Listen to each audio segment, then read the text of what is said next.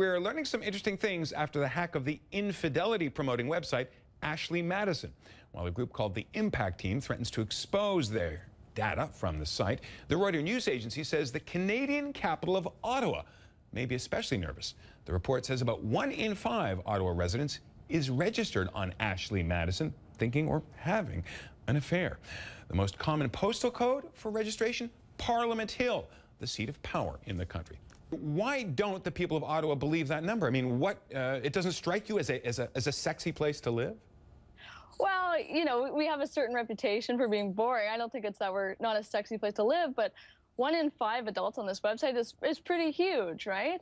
Uh, so a lot of people are saying maybe they're artificially created accounts by bots or Ashley Madison is making fake accounts, things like that. But if you take all that out, there's still a lot of people in Ottawa who are uh, who are using this website. Parliament Hill seems to have the most registered users.